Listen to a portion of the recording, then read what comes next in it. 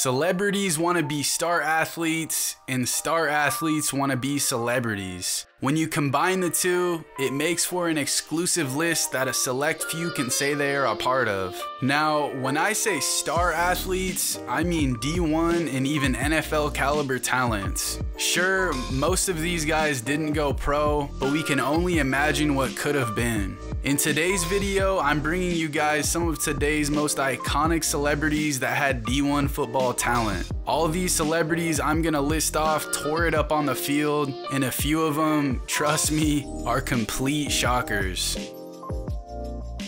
The Rock earned a full ride scholarship to the University of Miami where he played defensive tackle for four years. He won the national championship with Miami in 1991 and after his senior year was recruited to play in the Canadian Football League for the Calgary Stampeders. Two months into the season, he was cut by the team and returned home with $7 to his name. He didn't let that stop him from becoming the most famous WWE wrestler ever, which then led him to a lucrative acting career.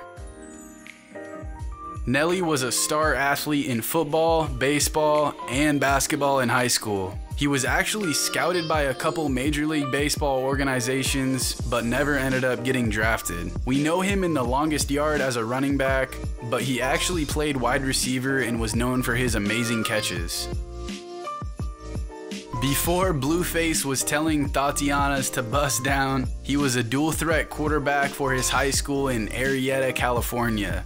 Being extremely thin at 6'3, 150 pounds, he was still able to put up 49 touchdowns in his two seasons and got a scholarship to play at Fayetteville State University in North Carolina. He dropped out after his freshman season, and in his remix of his hit song Thotiana, he mentions how he neglected his football coach to chase the money and fame. Channing Tatum was quoted in high school saying, The only reason I wanted to graduate high school was to get a scholarship and play football. He accomplished that by receiving a full ride scholarship as a linebacker at Glenville State College in West Virginia. He ended up dropping out and returned home to become a male stripper. Plies was a star defensive back and wide receiver in high school where he was also crowned as the valedictorian of his class and ended up getting a D1 offer from Miami University to play receiver. He then transferred to UCF after three years and then dropped out and began his music career. Bill Cosby was a football and track star in high school and got a scholarship to run track as well as play fullback at Temple University. When asked about his football career, he said, Usually, if I had to tackle somebody, I would fall over.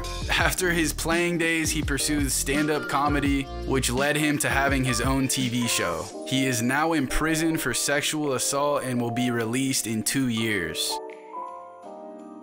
Wale was a star receiver in high school and attended Robert Morris University in Virginia State for football. He was quite the egotistical wide receiver and ended up dropping out of college after arguments with coaches. He then went home to start his rapping career. Suge Knight was a first team all conference D lineman at UNLV for two seasons, but dropped out before graduating because of his gang-banging lifestyle. A year after dropping out, he was called upon to play for the LA Rams as a replacement player in 1987 while the NFL was on strike and appeared in two games. I'm sure you guys remember his role in Straight Outta Compton as he became the cultural rap empire of the early 90s while creating Death Row Records records and jump-starting the rap careers of Ice Cube and Dr. Dre. Rick Ross was a first team All League offensive tackle in high school and got a scholarship to play at Albany State in Georgia. He only played there for one year and wanted to pursue being an artist. He then ironically became a correctional officer where he would write rap lyrics based off of drug dealing. Terry Crews is the only one on this list that was actually drafted in the NFL. He was drafted in the 11th round as a D lineman by the LA Rams and spent five seasons in the league, racking up a grand total of three tackles. He was a bit salty with his experience in the league as he was quoted saying, It's really a cult. I'm going to say it. The NFL is a cult. Not sure what made him so upset, but still pretty cool that he played in the NFL. Quavo was a left-handed dual threat quarterback for his high school team in Atlanta, Georgia. Now, a lot of people would assume that he's a bit overhyped since he is Quavo, but he was actually a really good quarterback and received some college offers. Since then, he's had charity flag football games and has appeared in the NBA's Celebrity All-Star game a few times, and he actually won the MVP of the game in 2018.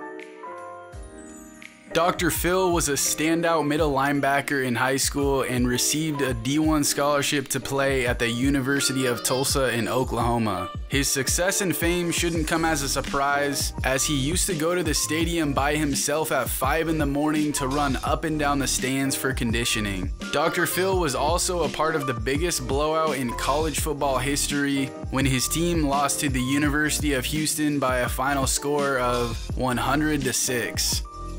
So that brings an end to the list of celebrities that starred in football. Most of these guys ended up dropping out of college to pursue their careers, and it kind of makes you wonder what would have happened if they kept playing. Anyways, I hope you guys enjoyed the video. If you want more content like this, make sure you hit the like button and subscribe to the channel.